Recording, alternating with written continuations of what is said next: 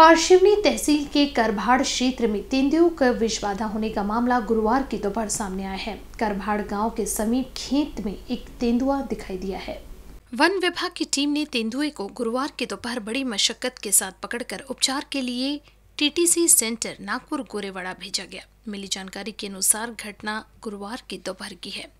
करभाड़ में भांगे माहिरी रोड के पास रामकृष्णा घोटे के खेत में सुबह एक तेंदुआ दिखाई दिया था।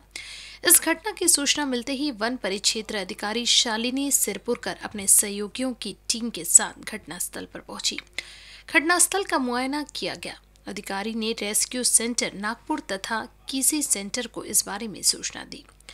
दोनों टीम तत्काल मौके पर पहुँची। पारशिवनी वन परिक्षेत्र कर्मियों की टीम रेस्क्यू सेंटर टीटीसी ने दोपहर करीब डेढ़ बजे संयुक्त रूप से जाल बिछाकर तेंदुए को पकड़ लिया।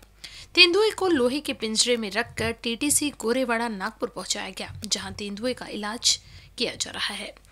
तेंदुए की उम्र तीन से चार साल बताई जा रही है। ग्रामीणों का कहना है कि दो से तीन दिन तक यह इलाके में सक्रिय था। तेंदुए को पकड़ने की कार्यवाही नागपुर के उप वन रक्षक डॉक्टर भारत सिंह हांडा के मार्गदर्शन में की गई। शालिनी शिरपुरकर वन परिक्षेत्र अधिकारी पारशिवनी अनिल भगत वन परिक्षेत्र अधिकारी रामटेक एच एम वाड़े क्षेत्र सहायक पारशिवनी पी के रामटेके वन परिक्षेत्र अधिकारी रेस्क्यू सेंटर नागपुर। इनके मार्गदर्शन में की गई। एनबीसी न्यूज़ के लिए पारशिवनी से रुपेश खंडारे की रिपोर्ट।